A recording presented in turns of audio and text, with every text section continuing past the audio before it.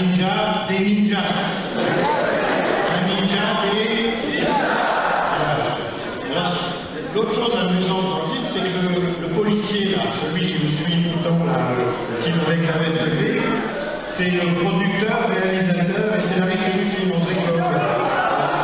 Il s'est dit, euh, je vais, faire du cinéma, je vais euh, le le sidekick de Bruce II, voilà. Qui, on voit que c'est pas vraiment un acteur, et que d'ailleurs il se filme souvent de dos ou de loin.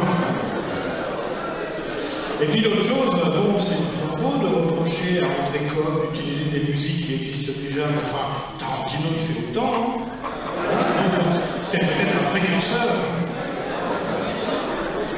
Bon, bref, euh, très content de vous avoir. Moi, je voudrais qu'on remercie encore euh, chaleureusement euh,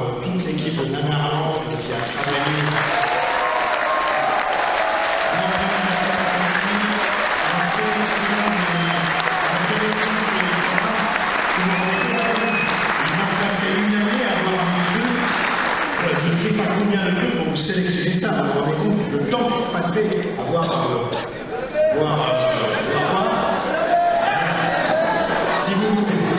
Donc vraiment, bravo Régis, euh, bravo Cyril, bravo Manu. Voilà, voilà Cyril.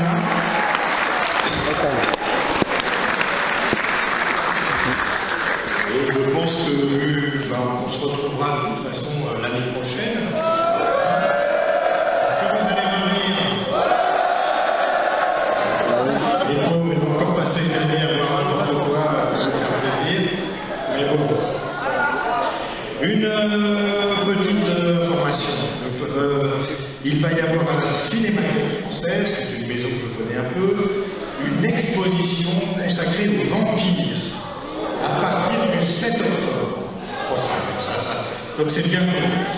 Donc il y aura. euh, alors allez-y, vous allez voir, elle est très très belle. C'est, euh, un peu le vampire à travers les arts. Il y aura évidemment une programmation avec euh, les films de vampires d'auteur, etc., les adaptations des romans de Bram. Et il y aura toutes les semaines, toutes les semaines, tous les vendredis, une séance de cinéma bis, donc une double séance consacrée à des films de vampires de tous les pays, de toutes les géographies, de toutes les, de toutes les époques,